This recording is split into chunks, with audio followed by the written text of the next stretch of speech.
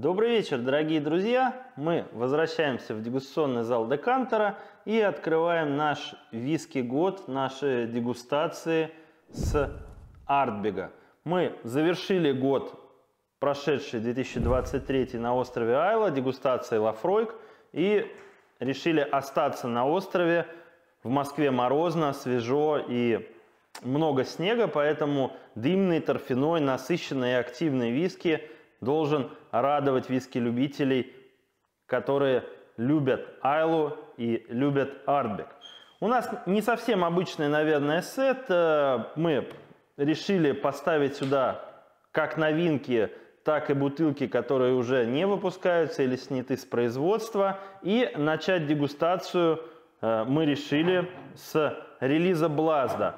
Я давно хотел поставить эту бутылку в дегустационный сет, потому что мне кажется, что это крайне интересно, когда вы можете сравнить в сете не только да, выдержку, игру бочек, э, степени обжарки или флагманский релиз, коим является для завода десятка, но также вы можете попробовать и релиз уникальный, необычный, на 40 градусах, э, в котором нету агрессивного, мощного активного арбига, к которому мы привыкли, а есть э, релиз от этого завода, но на 8 ppm, который кардинально отличается от всего того, что делает завод.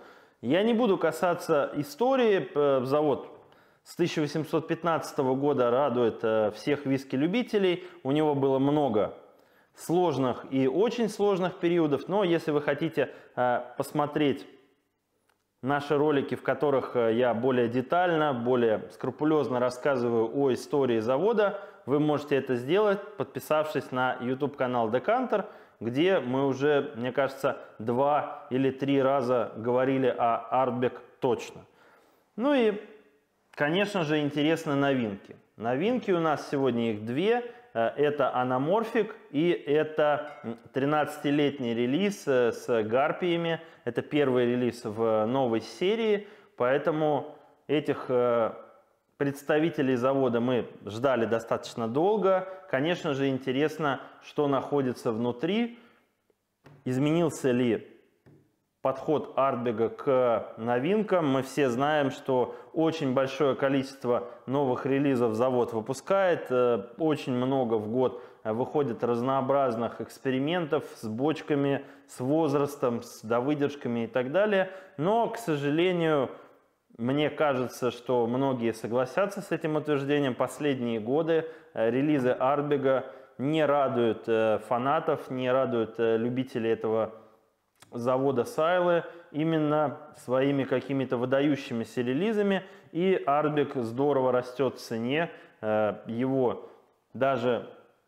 казалось бы, обычные не комитетные новинки стоят достаточно дорого. И это отталкивает от э, знакомства, от э, покупки этих бутылок. И бедные коллекционеры, единственные, наверное, кто покупают вне зависимости от оценок, э, критики или каких-то других э, особенностей, которые можно описать после дегустации, после открытия или сформировать какое-то свое мнение относительно того, понравился ли новый релиз или нет. Еще раз повторюсь, мне кажется, что рост цены и не самое выдающаяся палитра ощущений от э, последних артбегов, которые э, были выпущены заводом, подталкивают любителей этого производителя посмотреть шире, может быть, познакомиться с э, какими-то другими торфяными виски с Айлы. Ну и давайте начнем. Передо мной 6 бокальчиков, 6 бутылок. Еще раз повторюсь, у нас Блазда, классическая десятка, Грувс, 13-летняя новинка в Сатерне, э, Cave и Anamorphic. И о двух новинках вы могли прочитать в азбуке виски. Э, достаточно подробно мы описали эти новинки и несколько раз к ним возвращались. Если вы не подписаны на азбуку виски в телеграм-канале, то обязательно подпишитесь сейчас на этот канал. Мы стараемся говорить о всех новинках, о всех э, самых интересных бутылках, которые выходят в мире виски. Ну и, конечно же, на канал Декантера подписывайтесь тоже. Ну и давайте начнем дегустацию. Начинаем мы с Блазда, 40 градусов, 8 ppm. Еще раз повторюсь, э, релиз отличается достаточно сильно от э, той классики Артбега, к которой мы привыкли. И это ощущается практически сразу на знакомство, на первый нос. Очень цитрусовый, очень сливочный, э, достаточно мягкий, нету никакой атаки, нету никакой э, молодости, э, спиртов. Здесь все достаточно гармонично, достаточно мягко. Мне кажется, что вслепую очень-очень сложно будет предположить, что это вообще артбек. Ну и еще раз повторюсь, мне кажется, что вот начинать с такого релиза это огромная удача, огромная работа в ваших рецепторах, ваших ощущений и понимание того, вообще э, каким, например, э, в линейке экспериментов э, многочисленных вариаций обжарки, работы с бочками и даже случайностей Арбик выходит на рынок. И еще раз повторюсь, очень приятный, очень мягкий, может быть даже в меру сладковатый нос – но никакой атаки, никакой мощи, никакой агрессии здесь э, нету. Хересные хоксхеды сделали, мне кажется, отлично свое дело. И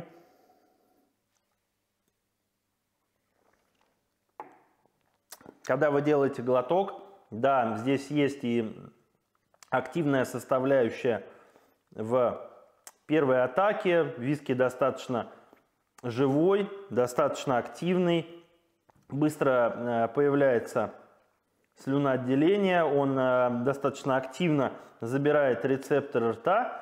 Да, есть э, влияние дыма и торфа, мы все-таки пробуем артбек, но оно достаточно мягкое, достаточно сливочное. Я бы сказал, что есть что-то от постилок, может быть какие-то сладкие тона ванили или, может быть, э, что-то присутствует от э, сухофруктовой основы, может быть, какие-то сладкие тона, переходящие в древесные или ореховые. Э, есть какой-то небольшой такой тонин, я бы сказал, что он достаточно активный в развитии своем. Но виски не короткий, виски не Э, заканчивается быстро, очень э, богато наполняет полость рта э, разнообразными оттенками и, может быть, вот по прошествии небольшого количества времени, когда кислород начинает все-таки замещать пары алкоголя во рту, появляется что-то от травянистых нот, может быть, какое-то легкое такое свежее ментоловое ощущение, но никакой агрессии никакой атаки, никаких э, тяжелых э,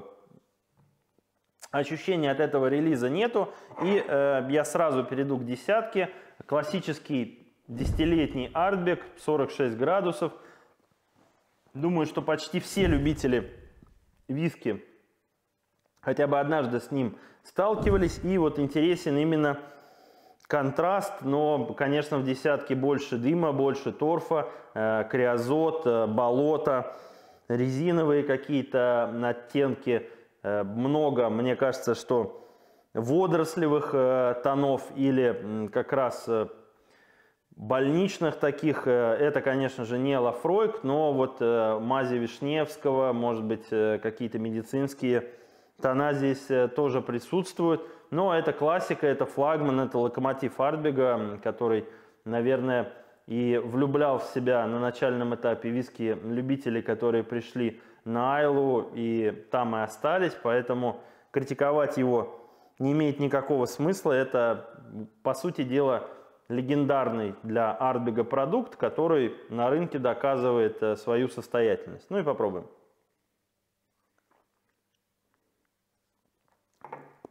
Конечно, и дыма, и торфа, и криозота, и атаки, и такой бурбоновой сладости, помноженная на характерность. Э, здесь больше виски очень э, комплексный, очень активный. Я бы сказал, что э, в сравнении даже с Блазда это такой очень мощный, очень пробивной, молодой и совершенно такой активный спортсмен, э, и он э, пытается доказать вот все и сразу, сразу бросается на ваши рецепторы. Но когда проходит первая атака, он отлично оседает на гортане, он э, отлично работает с полостью рта. Ну, еще раз повторюсь, это классика Артбега, самый продаваемый релиз, самый узнаваемый, самый, наверное, знакомый всему рынку. Поэтому, если вы любите Артбег, то десятка вряд ли вас оставит э, равнодушным. Может быть, к ней можно придраться по длине и объему, но мне кажется, что этого делать не стоит, потому что любители э, Айлы и, в частности, Артбега хотят именно такого экспрессивного, такого активного, такого заряженного продукта, который многим нравится, а многим не нравится, поэтому тут э, личное дело уже и выбор каждого. Ну и двигаемся дальше. Дальше у нас это релиз Grooves э, с участием винных э, бочек, красных бочек. У нас не комитетный, а обычный релиз, тоже 46 градусов. И хотелось вот мне лично как раз его сравнить с э, новинкой, с 13-летней версией, где участвуют тоже винные бочки, но это бочки из-под сладкого вина Сатерн. Ну, достаточно активный э, нос здесь отсутствует, на мой взгляд. Он э, весьма сдержанный, очень комплексный. Есть что-то от красных ягод, есть э, какая-то такая кислинка, но мне кажется, что вот э, этому релизу требуется чуть больше времени, ему требуется посидеть э, с хорошим собеседником, не торопясь, ему нужен воздух. Ну и чем больше релиз дышит, здесь больше поднимается вот это торфяное облако, я бы его так назвал, с вкраплением именно э, красных каких-то оттенков, ягодных. Э, есть что-то от э, древесной такой мокрой щепы. Я бы сказал, что достаточно строгий и не такой активный, не такой мощный, не такой экспрессивный арбик. Вот для тех, кто, наверное, хочет такой стиль, если вы найдете бутылку груза, мне кажется, это отличный вариант.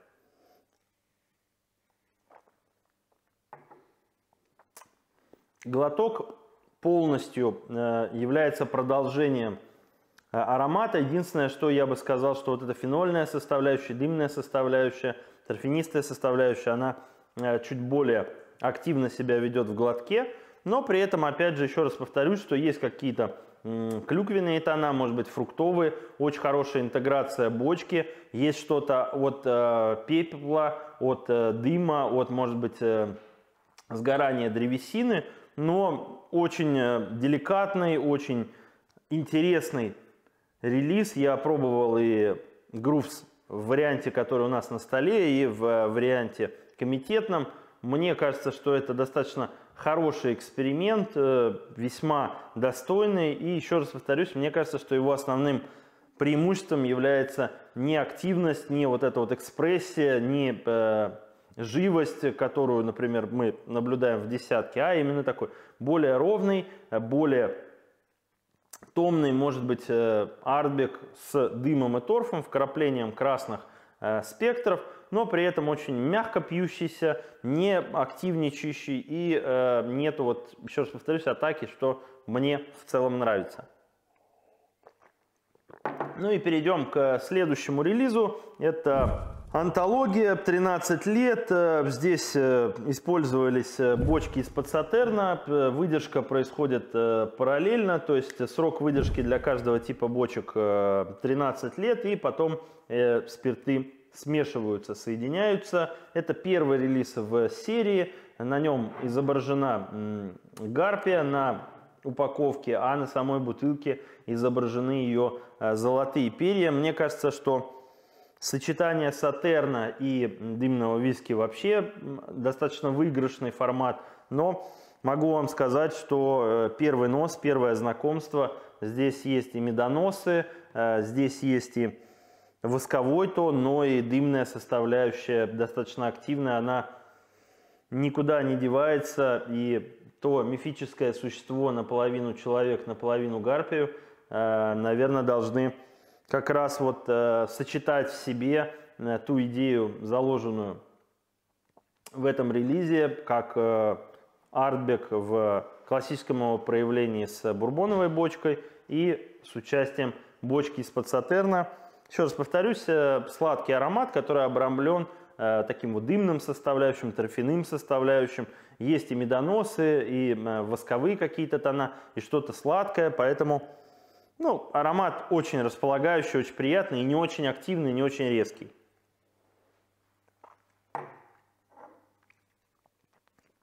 Вкус весьма деликатный. Да, есть атака дыма и торфа, но она достаточно быстро сменяется как раз вот этим э, сладким, таким интереснейшим, как мне кажется, обволакивающим э, щеки и верхнюю часть э, ротовой полости сатерном, вот именно такой, может быть, даже восковой пленочкой, но при этом хорошим эффектом согревания в гортане, согревания в именно финале. Мне кажется, достаточно достойный релиз. В целом это, конечно, начало коллекции. Мы знаем, что первые бутылки всегда востребованы больше, чем все остальные, потому что они первые покидают рынок, их первые покупают и открывают. Поэтому, если вы вдруг коллекционируете Артбек, я советую вам купить, наверное, несколько таких бутылок. Мне кажется, что в них есть и инвестиционный потенциал, ну и э, их, конечно же, в дальнейшем будут искать в большей степени, когда серия разрастется, когда выйдет второй, третий релиз, ну и так далее. Ну и давайте двигаться дальше. Э, у нас э, релиз Dark Cave или темная бухта. Здесь 46,5 градусов. Это один из самых э, темных релизов. Связано это с тем, что это дань уважения тем темным временам, когда контрабандисты уплывали на Айлу, и э, достигается это благодаря тому, что используются особые э, виды э, бочек из-под хереса. Э, здесь также сочетание, но вот э, хересные бочки дают достаточно темный, достаточно густой, э, насыщенный цвет этому релизу. Этот релиз также выходил в двух версиях. Это той версии, которая представлена на столе, и комитетной версии. Ну, здесь очень много бальзамика, много трав. Здесь есть э, сухофруктовая основа с э, печеными, может быть, такими ореховыми какими-то тонами.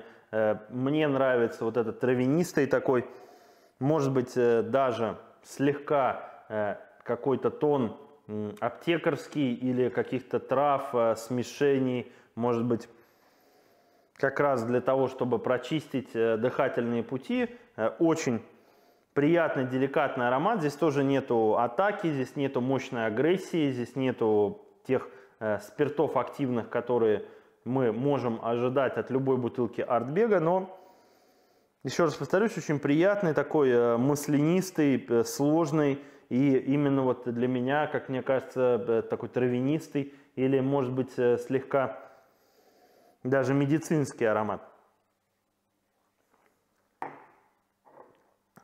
Очень приятный, очень деликатный, очень объемный, очень много информации сразу появляется в ротовой полости, но никакой атаки, никакой агрессии. Релиз вот сложен, прям практически идеально, ничего не выпирает, очень хорошо сбалансирован, очень хорошо мягко пьется. Здесь чувствуется и влияние тех самых хересных бочек, о которых я сказал, но и длины, и объема, и глубины Здесь достаточно, я бы отметил, черный шоколад, чай, лакричные тона, э, какой-то, может быть, э, сладкий, опять же, такой вот э, дымный формат, но от хорошей сигары, может быть, или трубки, но ничего не выпирает, очень качественно собран, очень хорошо сформированный релиз, весьма глубокий, с ним, конечно, лучше посидеть, не торопиться, это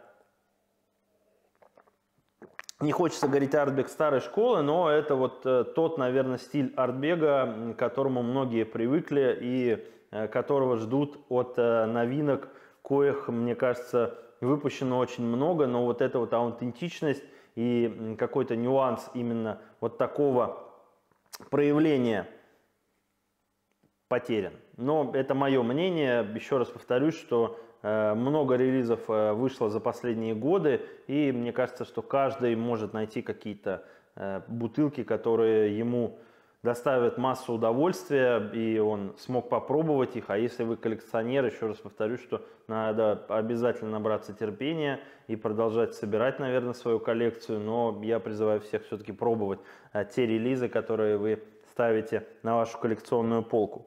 Ну и давайте переходить к последнему релизу. Релиз называется Anamorphic. Билл Лэмсден говорит о том, что это э, четырехмерный артбек, в котором сочетается четыре вкуса. И это комитетный релиз, это комитетный релиз 2023 года, 48,2 э, градуса, крайне сложная в описании этикетка, на ней, э, я так понимаю, Билл Эмзен э, ходит по лестнице, и здесь масса всяких вещей происходит, что-то взрывается, что-то горит, что-то открывается.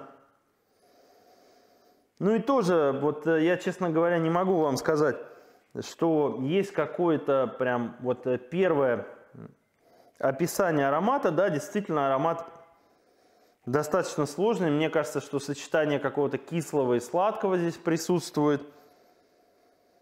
Может быть, э, не хочется думать, что это дрожжевая основа или какие-то бражные тона. Нет но вот что-то от э, черного хлеба, может быть, может быть, какие-то э, хорошие э, стили стаута здесь в ароматике. Тоже очень мягкий аромат, ничего не бьет по рецепторам, ничего не забивает рецепторы.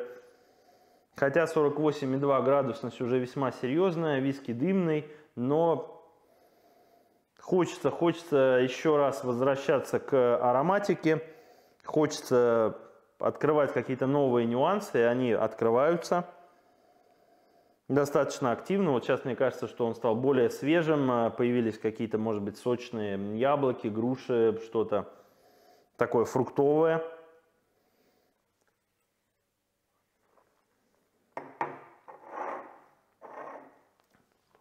Вкус достаточно перечный, очень пряный, есть какие-то нотки и э, соли, и я бы сказал, что это что-то от э, мясных, может быть, каких-то, то есть это вяленое мясо или, может быть, какие-то именно обработанные виды мяса, гастрономия такая, что-то от барбекю, но очень сухой релиз, э, очень э, быстро забирает воду из ротовой полости, крайне активно себя не ведет, но вот эта вот формация где релиз достаточно сухой, поднимаются тонины, и сложно, наверное, описать вот э, действительно какой э, основной аспект, основной момент э, в этом артбеге хочется затронуть. Но вот для меня, например, действительно приятная, сложная ароматика, да, интеграция дыма достаточно хорошая,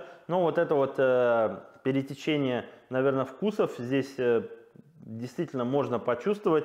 Сложно поймать вот именно какую-то одну такую нотку, э, которая вот прям действительно цепляет и действительно играет первую скрипку. Ну, все релизы крайне разные, действительно нужно посидеть, э, посмотреть, как идет развитие в бокалах, э, что привносит воздух и процесс аэрации, когда виски дышит э, даже в бокале.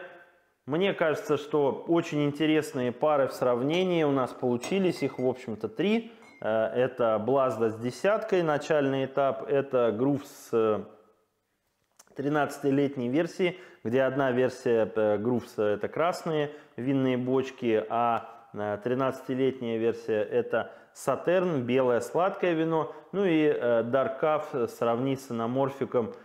Тоже, мне кажется, очень будет интересно на дегустации. Узнаем, э, кто одержит э, верх в голосовании. Я честно выделю Caf. Мне кажется, что абсолютно гениально собранный и прекрасный артбег для тех, кто вот любит не активные, не мощные артбеги, а именно вот такие томные, деликатные, очень обволакивающие и весьма сложные. Интересный анаморфик, его мясистость, его кислотность, его какая-то вот эта вот, может быть, раскрывающая сладость. Действительно, э, релиз интересный, с ним стоит э, посидеть и поработать, наверное, подольше. Ну и еще раз повторюсь, что, что 13-летняя версия, что Grooves порадует любителей э, винных бочек. Э, я думаю, что многие найдут там какие-то нюансы и тонкости, которые им нравятся. Что ж, друзья, мы продолжим говорить о артбеге, мы э, продолжим открывать их новинки, сочетать их в наших дегустациях с историей уже, с теми бутылками, которые сняты с производства, может быть, уже которые являются историческими, потому что релизов много, выходят они достаточно часто, что дает нам возможность изучить и держать руку на пульсе того, что же происходит на заводе, что же делает Билл Лэмсден с Артбегом сейчас. Спасибо вам за внимание. Мы, еще раз повторю, открываем наш э, виски год. Постараемся много говорить о самых лучших бутылках, постараемся открывать все самое насущное и интересное. Ну и еще раз повторюсь, э, Айла, конечно, остается в наших дегустациях и будем стремиться не всегда, но частенько возвращаться на остров, чтобы попробовать его дымный, торфяной, а может быть и нет, виски. Всего доброго, друзья. Всем пока.